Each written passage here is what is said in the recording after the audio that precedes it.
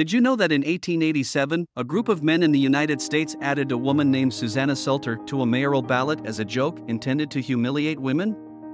However, the joke ended up backfiring when Salter won over 60% of the vote and became the first female mayor in America. Salter, who was only 27 years old at the time, was not involved in politics and had not campaigned for the position. However, she accepted the position and went on to serve as mayor of the town of Argonia, Kansas for one year.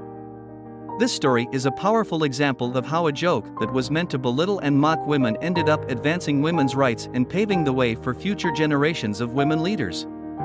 It is a reminder that women have the power to break through barriers and achieve their goals, even in the face of adversity and discrimination.